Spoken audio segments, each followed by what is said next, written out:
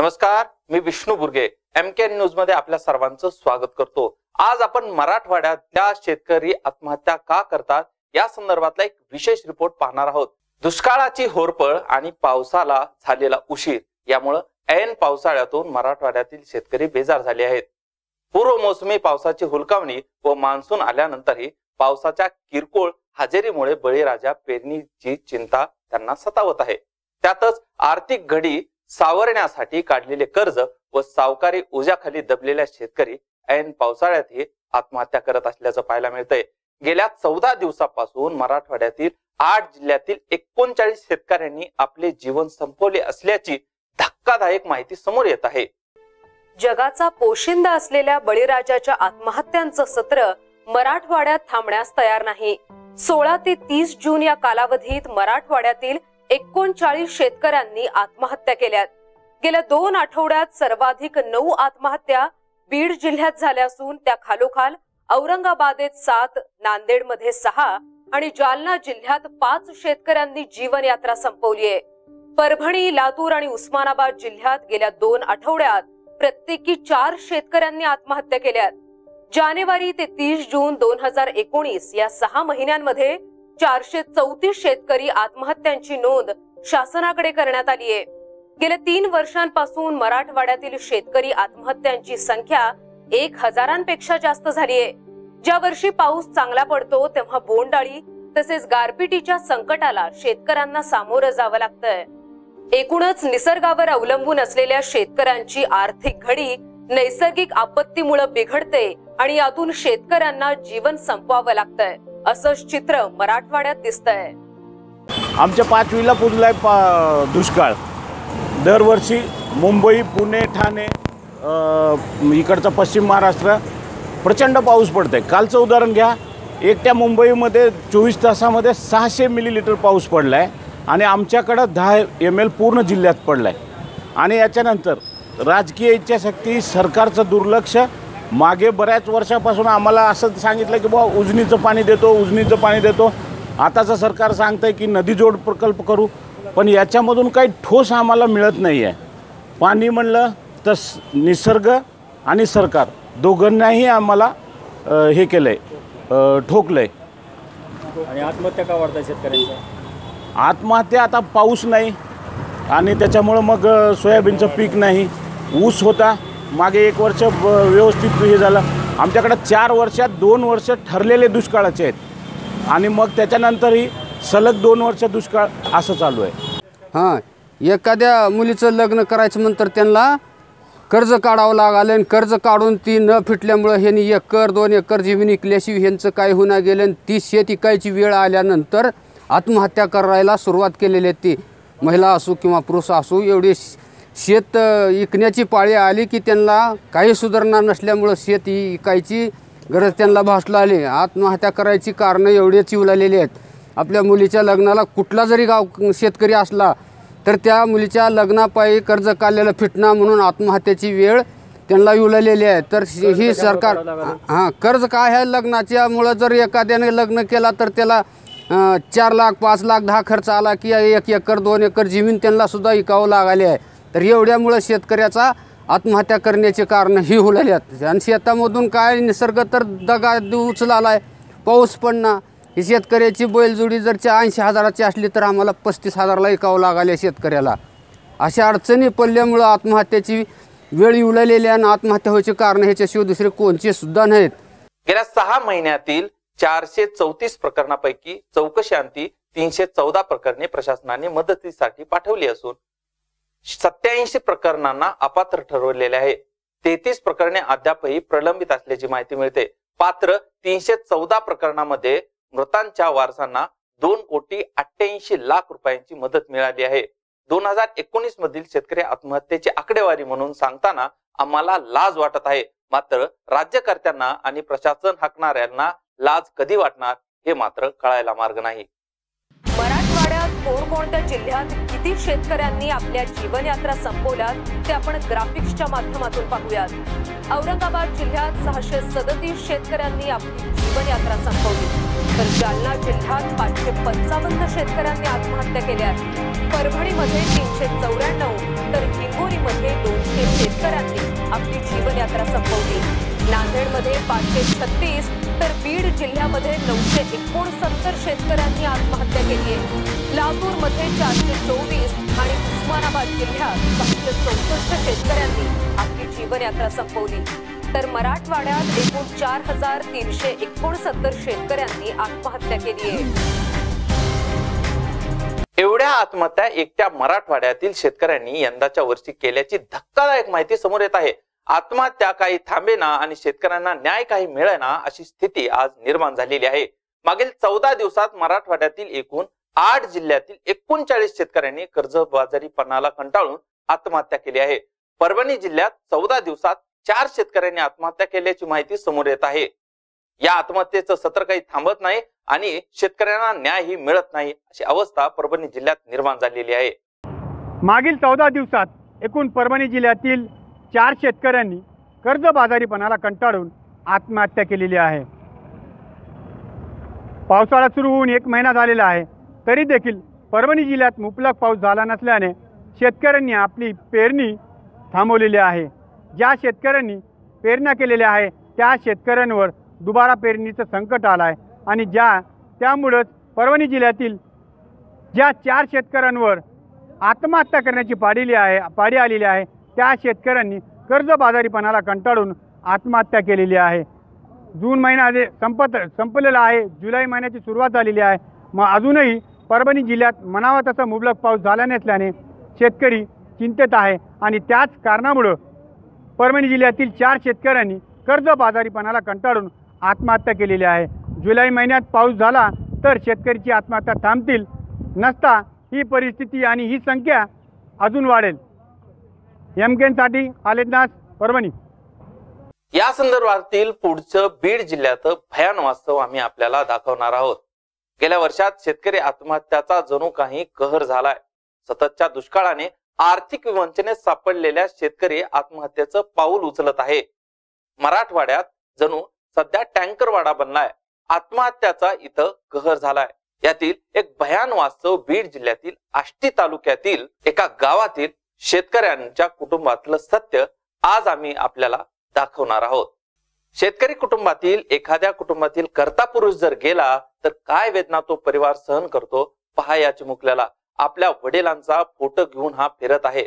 आपल्या वडिलांचा फोटो मांडीवर घेऊन तो आपल्या बापाची जणू आठवण करत आहे.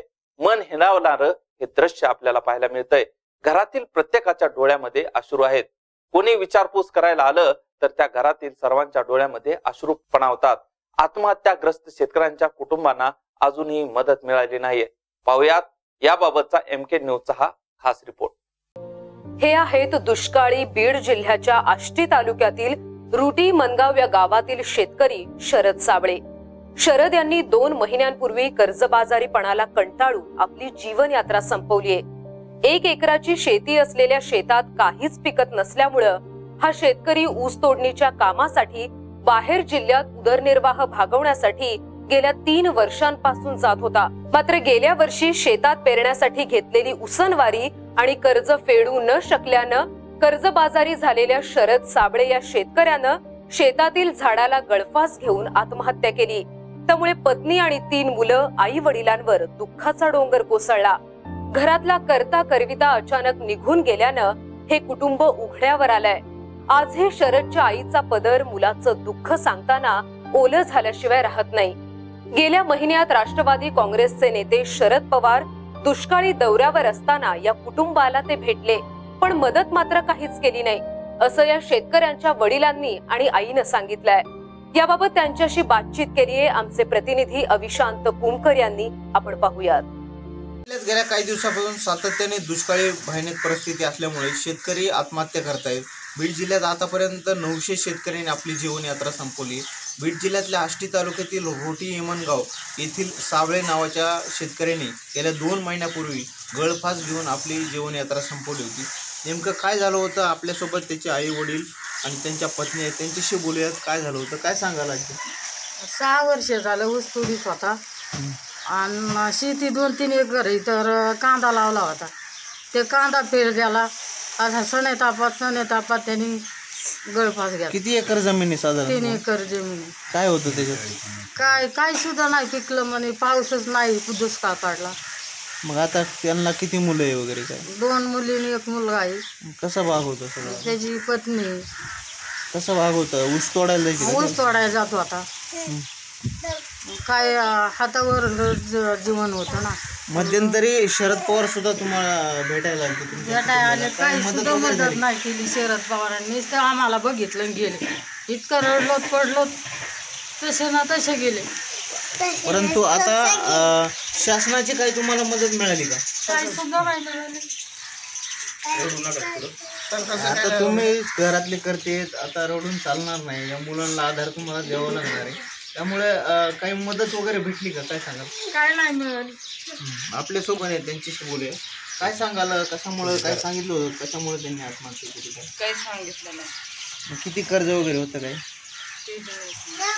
किती मुलं आहे आता कसं भागवतं सगळं तीन मुलं आहेत. शाळेत वगैरे जाते? हा, जाते. एकंदरीत आपण पाहिलं की गेल्या काही दिवसापासून शेतकरी आत्महत्या करतायत. ह्या कुटुंबाची आपण व्यथा ऐकली की गेल्या काही दिवसापासून तो कर्जबाजारी होता आणि अचानक त्याने अगळफास घेऊन आपली जीवनयात्रा संपवली. शासनाची पण अजून काही मदत मिळाली नाही. गेले दोन महिने होऊन गेलेत.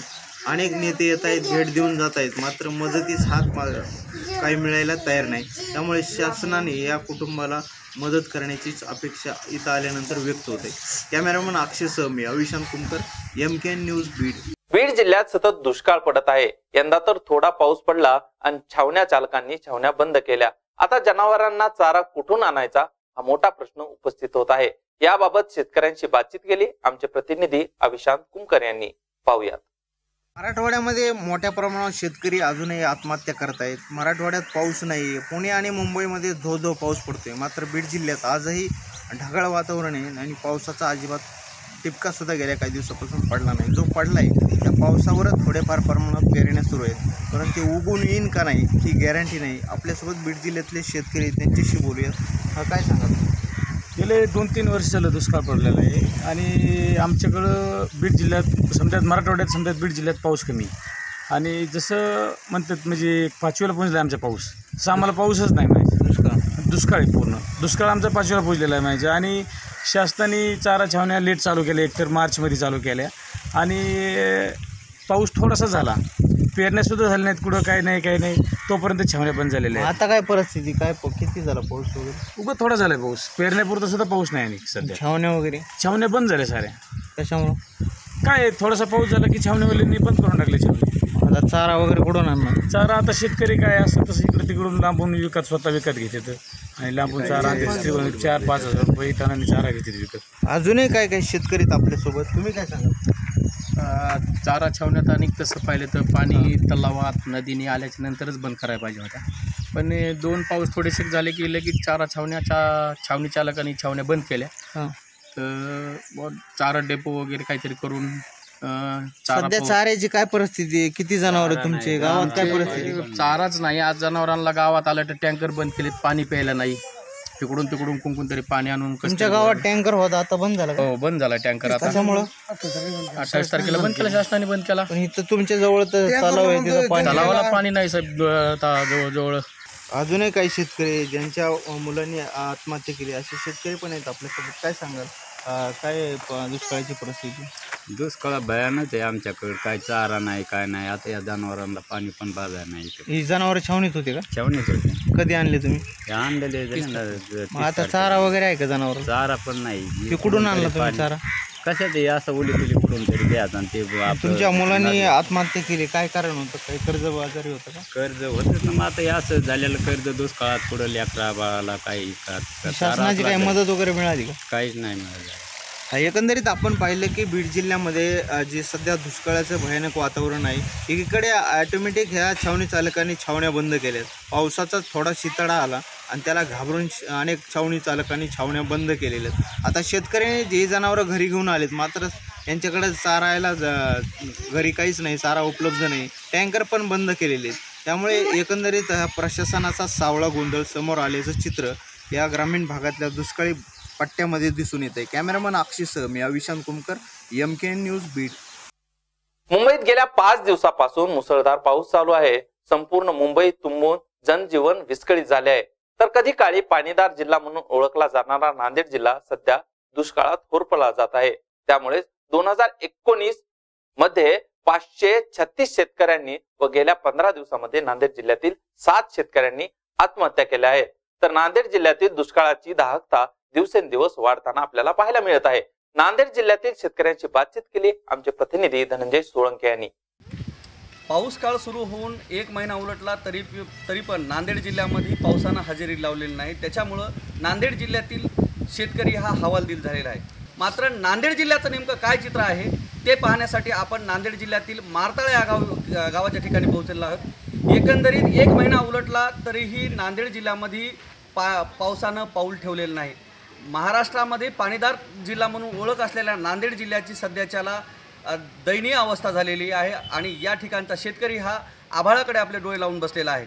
मा मारताळा या गावातील शेतकऱ्यांची सध्याची सध्याच्याला काय अवस्था आणि त्यांच्या काय प्रतिक्रिया आहेत हे आपण जाणून घेण्याचा प्रयत्न करू आहोत महाराष्ट्रामध्ये गेल्या एक वर्षामध्ये बहुतांश शेतकऱ्यांनी आत्महत्या केल्या आहेत. त्यामध्ये दोन हजार एकोणीसमध्ये नांदेड जिल्ह्यामध्ये पाचशे छत्तीस शेतकऱ्यांनी आत्महत्या केलेल्या आहेत. आणि गेल्या चौदा दिवसात नांदेड जिल्ह्यातील सात शेतकऱ्यांनी आत्महत्या केल्यात. आणि या हा शेतकरी शेती न करता सध्याच्याला आत्महत्येकडे काय वळतोय हे सुद्धा जाणून घेण्याचा प्रयत्न आपण मारताळा येथील शेतकऱ्यांशी चर्चा करून जाणून घेणार आहोत. तर सध्याची ज सध्याचा जो पाऊस काळ आहे तर हा पाऊस काळ कोणत्या पद्धतीनं आहे आणि नेमक्या शेतकऱ्यांच्या काय अडचणी आहेत? पाऊस अतिशय खंडवृष्टीनं पडतो पडलेला. आणि अतिशय कमी प्रमाणात आहे. आणि त्याच्यामुळं मारतळ्याच्या एका भागात आहे पूर्वेला आहे तर पश्चिमेला नाही. असा पावसाचा लपंडाव सुरू आहे. आणि त्याच्यामुळं शेतकरी वर्गावरती मोठं संकट कोसळलेलं आहे. शेतकरी हवालदिल झालेला आहे. आणि बहुतांशी पेरण्या आज पडेल उद्या पडेल मर्गराजा उद्या बरसेल म्हणून बहुतांशी शेतकऱ्यांनी पेरण्या पूर्ण केलेल्या आहेत. पण आता हे आसमानी संकट शेतकऱ्याच्या समोर उभं आहे नांदेड जिल्ह्यामध्ये. प्रकारचा पाऊस चालू आहे. असा लपंडाव चालू आहे. आता दुसरं पेरायला पैसे नाही आता अर्धवट आज पण करून टाक काय? अशी परिस्थिती मला भयानक परिस्थिती एकंदरीत गैरीपणा. एकंदरीत पर एकंदरीत नांदेड जिल्ह्यामध्ये जो पा पावसाचा लहरीपणा आहे त्या लहरीपण पणामुळं या ठिकाणी शेतकरी हवालदिल झालेला आहे आणि हे आसमानी संकट सध्याच्याला नांदेड जिल्ह्यातील आणि मराठवाड्यातील शेतकऱ्यावर पसरलेले आहे या आसमानी संकटामुळं मराठवाड्यातील शेतकरी आणि विशेषतः नांदेड परभणी आणि हिंगोली जिल्ह्यातील शेतकऱ्यांनी आत्महत्याला कवटाळलेला आहे. एम के मराठीसाठी धनंजय सोळंके नांदेड. मराठवाड्यातील पुढची बातमी आहे ती औरंगाबाद जिल्ह्यातली. औरंगाबाद जिल्ह्याच्या शेतकऱ्यांची अवस्था ही बिकट झाली. या जिल्ह्यात पाणी मिळत नाही मात्र नामवंत कंपनीच्या दारूच्या कारखाने मात्र थाटात चालतात असं दिसतंय. पण या जिल्ह्याची ही शेतकऱ्यांची वाईट अवस्था का निर्माण झाली हे मात्र अद्याप कळायला तयार नाही. पण एक गोष्ट खरी आहे की आमचा मराठवाड्याचा भाग हा दुर्दैवाने गेले चार पाच वर्ष सातत्याने दुष्काळाने होरपवलेला आहे याही वर्षी दुष्काळ आहे. एक वर्षाचा अपवाद सोडला तर सातत्याने दुष्काळाचा सामना आमच्या या मराठवाड्याला करावा लागतोय. आणि या दुष्काळातनं मराठवाड्याला बाहेर काढण्याकरता खरं म्हणजे आपण जलयुक्त शिवारसारखी योजना आणली. या योजनेमुळे एक मोठा दिलासा लोकांना मिळाला. पण पाऊस जर दोन दोन तीन तीन वर्ष पडला नाही तर त्यातनं खऱ्या अर्थानं जो आमचा शेतकरी आहे याला अत्यंत त्या ठिकाणी त्रास सहन करावा लागतो. मराठवाड्यातील सर्व जिल्ह्यातील शेतकरी आज आत्महत्या करतायत. मात्र सरकार उपाययोजना करायला तयार नाही. अनेक वेळा आम्ही शेतकऱ्यांसाठी काम करत असल्याचं सरकार आणि प्रशासन आव आणतंय. मात्र आत्महत्यांचं हे सत्र मात्र कमी व्हायला तयार नाही. या सरकार आणि प्रशासनाला कधी सद्बुद्धी येणार आणि आत्महत्येचा हा प्रवास कधी थांबणार हे मात्र येणारा काळच ठरवेल. मराठवाड्यातील सर्व जिल्ह्यातील शेतकरी आज आत्महत्या करत आहेत. मात्र सरकार उपाययोजना करायला तयार नाही. अनेक वेळा आम्ही शेतकऱ्यांसाठी काम करत असल्याचा सरकार आणि प्रशासन आवानतय मात्र आत्महत्येचं हे सत्र कमी व्हायला तयार नाही. या सरकार आणि प्रशासनाला कधी सद्बुद्धी येणार आणि आत्महत्याचा प्रवास कधी थांबणार हा येणारा काळच ठरवेल ताज्या बातम्या आणि अपडेटसाठी पाहत राहा एम के न्यूज प्रतिबिंब वास्तव.